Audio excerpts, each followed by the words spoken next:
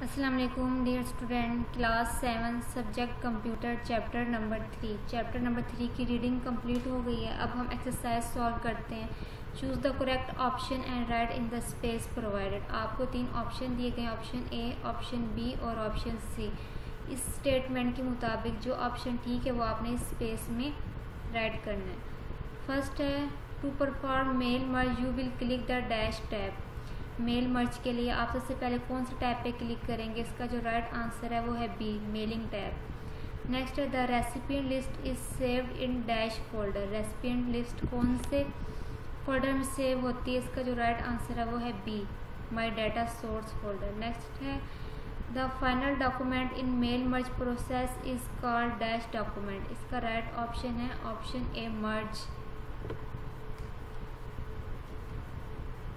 You can add a new field name by clicking the dash button कि आपने जब new field add करनी है, उसके लिए आप कौन से बटन पे क्लिक करेंगे? इसका राइट ऑप्शन है option C add button the mail merge task pane appear in dash of M S word screen mail merge का जो टास्क पैन है, वो कहाँ पे ज़ाहिर होता है एम एस वर्ड स्क्रीन के? इसका राइट ऑप्शन है ऑप्शन ए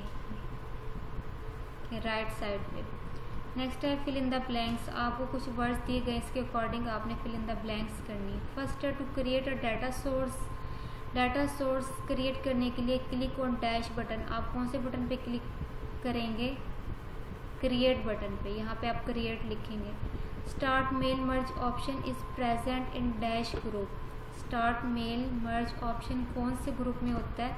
इसका राइट आंसर है स्टार्ट मेल मर्ज यहाँ पे आप राइट करेंगे start mail merge next the first step of mail merge is to prepare the dash and dash जो पहला स्टेप होता है मेल मर्ज का, वो कौन सा होता है? Main document and data source यहाँ पे आप लिखेंगे मेन डॉक्यूमेंट और यहाँ डाटा सोर्स नेक्स्ट है by using dash option you can send same letter to a number of people यहाँ पे आप राइट करेंगे मेल मर्ज कि मेल मर्ज ऑप्शन के ज़रिए आप एक ही लेटर को बहुत ज़्यादा लोगों को सेंड कर सकते हैं। यह था आज का हमारा लेक्चर नेक्स्ट लेक्चर में हम ट्रू फॉल्स सॉल्व करेंगे।